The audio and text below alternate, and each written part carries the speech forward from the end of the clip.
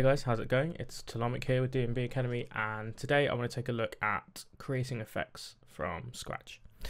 So, one of the things that I often find when I'm working on tunes is that it gets to the last, like, you know, 10% or whatever, and you need to add all your impacts, your risers, um, any transitional effects, and any kind of like ear candy on your tune. Um, and two things. One, I hate doing it, it takes ages, kind of boring. Uh, and the second one is that searching splice for these sounds can be really frustrating. Splice, Loopcloud, whatever you're using can be a bit annoying. So we're going to look at creating some completely from scratch using Serum. The other advantage of this is that you're not using the same like impact that 30 other people have used. So we'll start with an impact. Um, we'll do like almost like a reverbed kick sound. So the first thing we need to do is generate the kick. So I'm going to create a sine wave turn the phase, the random on the phase down, and I'm actually going to turn pitch tracking off for oscillator A. What this means is that regardless of which note I play on the keyboard, it makes no difference to the pitch at all. Um, it means that it will be consistent whenever we're playing, whatever key we press will be the same here every time.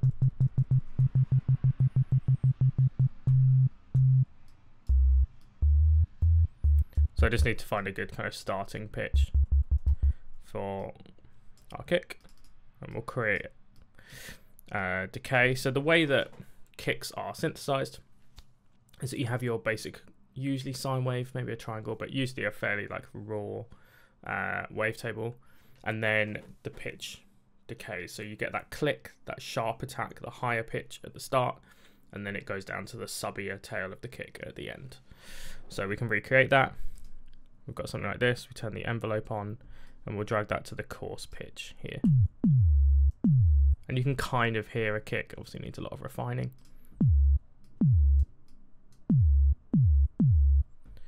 Let's also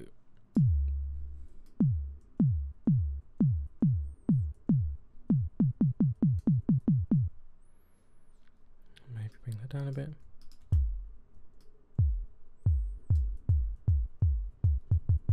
There we go. So we've got something that's a little bit kickier.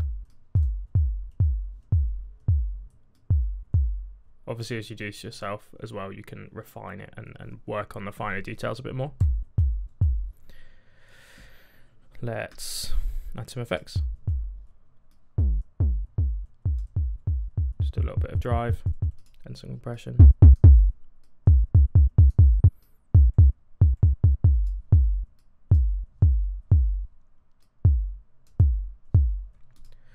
And let's add some noise.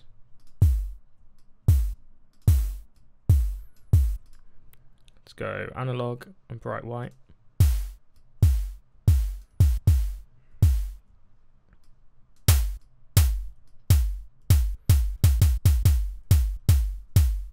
Cool. And then let's add some reverb take some of the real low stuff out with the low cut and turn the mix up. Maybe put the compressor after.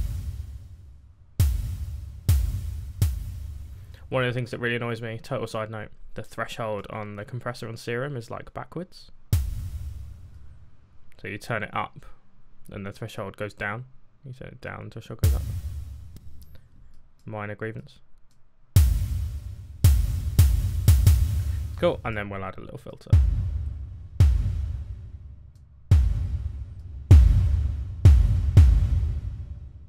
And there you go.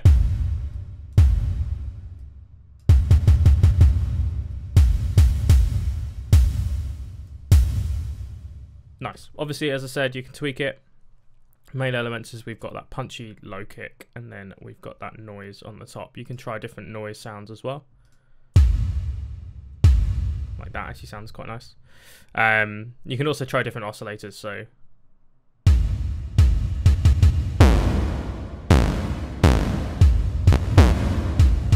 would suggest something that's not got as many harmonics, but there's a few different fairly basic ones in here, like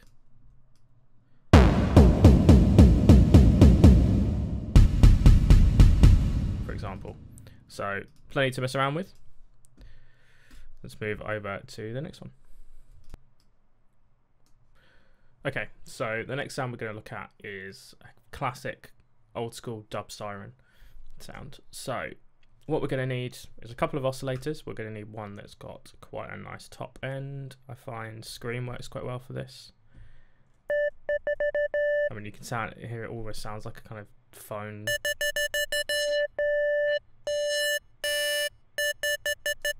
kind of tone anyway. So we'll find a sweet spot around there and we'll just add a little bit of detune.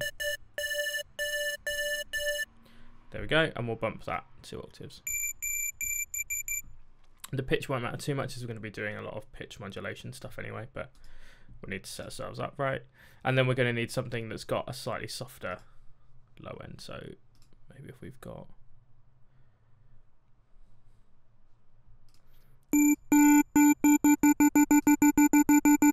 something like that and a bit more unison on that as well. So where a lot of the magic for this sound comes from is in the pitch modulation, as I said. So we're going to create a square wave. I'm just going to bump these up a little bit.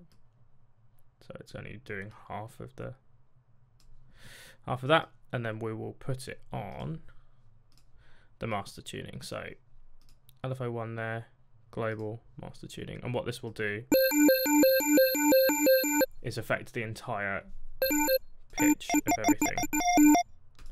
So we'll set this to trigger and we'll adjust So you can see where that tone is coming from now. So we'll just add a filter, we'll add a bandpass filter. We'll, if I press Option or Alt and Shift,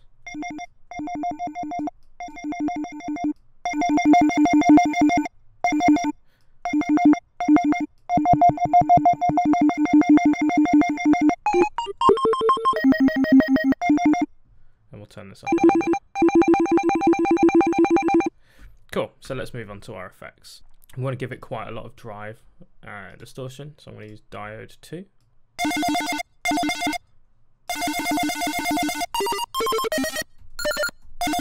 And crank that all the way up. Add a little bit of delay. And I'll filter that down. And then we'll add some multi-band compression and we'll then tweak this so less low end less highs and a bit more mid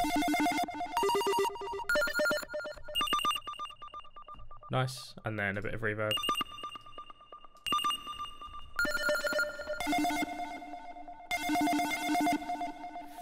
And that's pretty much it to be honest. We can tweak some of the low end out of that. We could add an EQ to just high pass out some of those lows as well. And we could add a tail. Or even a bit of release.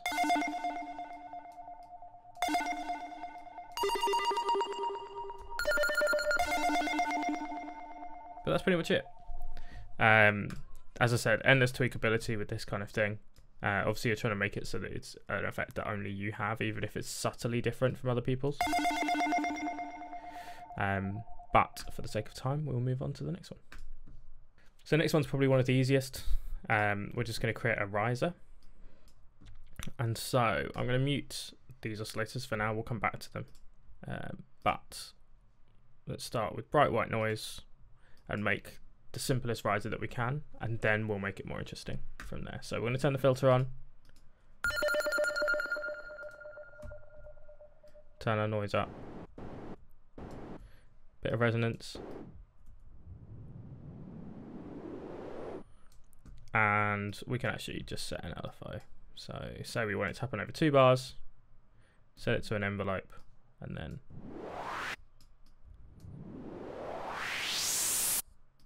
bit of drive.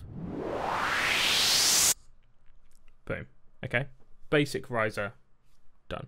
Now it becomes a case of like, how do we make this more interesting? Um, one of the things that I quite like to do is to introduce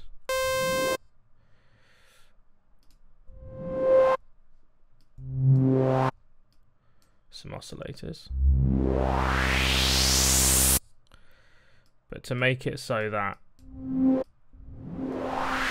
it's more about adding a texture rather than adding anything tonal. So if we go into global, uh, and we can use our chaos oscillators here. So I'll click on mono, we'll go chaos 1, oscillator A, volume, and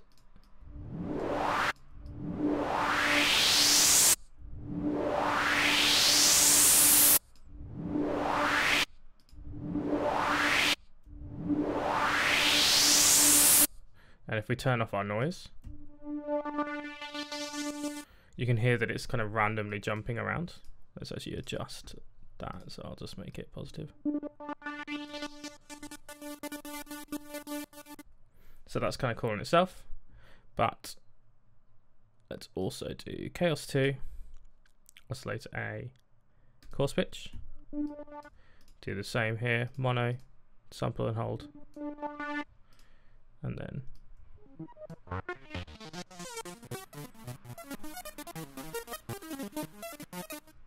and we've now got this kind of like random noisy texture over the top.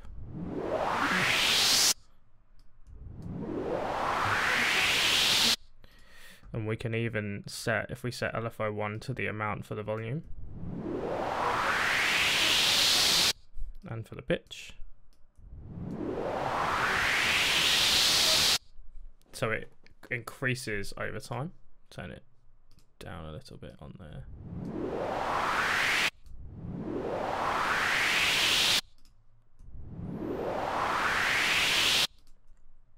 Let's actually get a slight.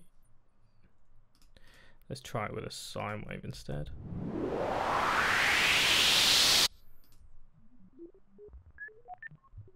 There we go. So we've now got like a more computer sounding noise that saw Sawtooth was slightly too um, had too many harmonics. It was sounding a bit weird.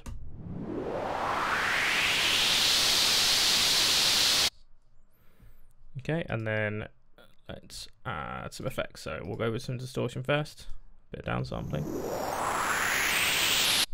And we can even increase. Let's maybe make it a bit longer.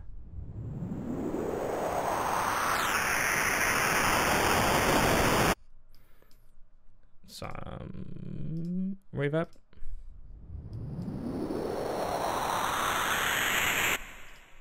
And let's turn that back up again.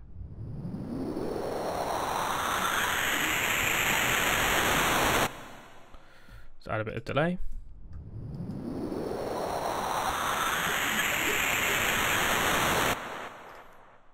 Bit of dimension expander.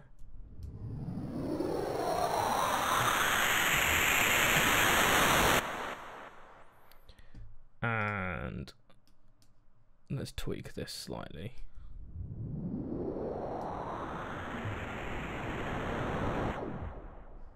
To add that little tail at the end and we'll add a filter.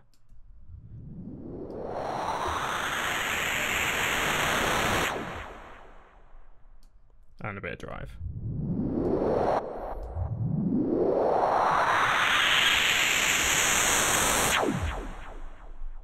There we go. So you can see how this is endlessly tweakable. We could add some multiband compression to it. We could tweak this oscillator. We could add some randomness to this one. I've done it the other way around before where you have the sine wave pitch up as the riser, and then you use the noise as like the static on top uh, with a bit of randomness to it. There's actually a lot that can be done with the chaos oscillators um, in Serum that I don't see many people using. But yeah, there you go. Three simple effects, all created from scratch, all just using Serum. Hopefully that helped. Any questions, let us know, and I'll see you in the next one.